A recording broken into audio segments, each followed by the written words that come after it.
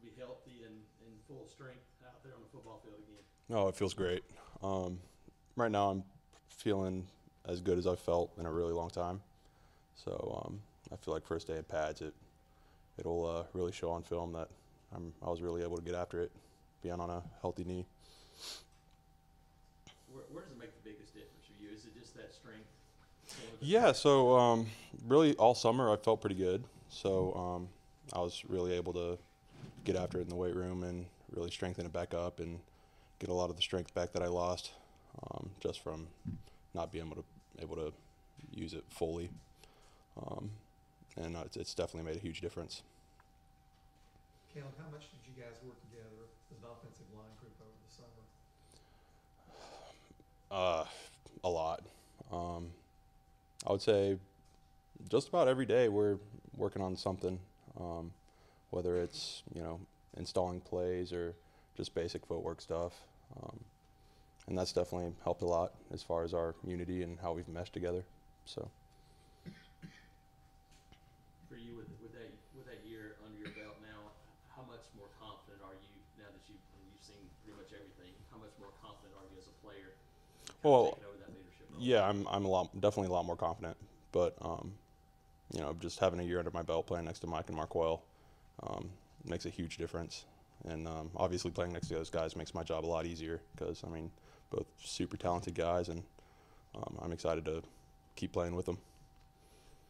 Would people be surprised how important that bond is with you three guys? You guys came in together, been around each other a long time. Yeah, absolutely, absolutely. Um, I mean, we just we kind of have a feel for each other and how we our our styles of ball, and um, we obviously last year we were able to um, come together and, and mesh, and I think we've picked up where we left off after Nashville, and especially after spring ball.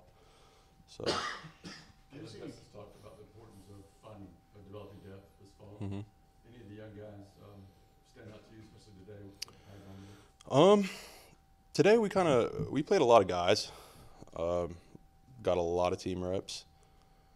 Uh, but I mean, obviously the young guys, they're right now their heads are spinning. They just got here, and the first day of pads, it's going to be tough. Um, but I feel good about how they've done. Obviously, we're um, Bailey Sharp is um, he's he's helping us out on the orange team, and I think he's going to be some really quality depth for us. And then obviously right behind me, Nick is a he's I mean he's a great center. He'll he'll definitely be a great center.